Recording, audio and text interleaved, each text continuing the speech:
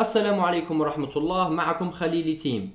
في هذا الدرس سنتعرف على كيفية إضافة بريد جيميل إلى تطبيق البريد في الويندوز 8.1 نقوم أولا بفتح تطبيق البريد بعدها نفتح ال Charm bar نضغط على Settings Account وبعدها نضغط على Add an Account. نختار جوجل ثم نقوم بكتابة بريدنا الإلكتروني وكلمة المرور ونضغط على Sign In.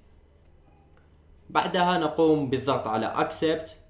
وسيقوم التطبيق بجلب جميع رسائلنا الإلكترونية إلى تطبيق الويندوز 8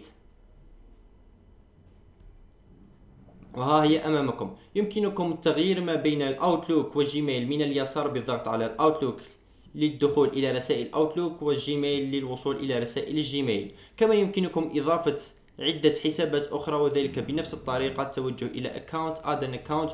يمكنكم إضافة حسابات أخرى من الجيميل. أو من شركات أخرى مثل AOL ياهو وغيرها. أتمنى أن الدرس قد أفادكم. لا تنسوا الاشتراك في القناة لمزيد من دروس. تعلم الويندوز 8.1 وإلى اللقاء في الدرس القادم.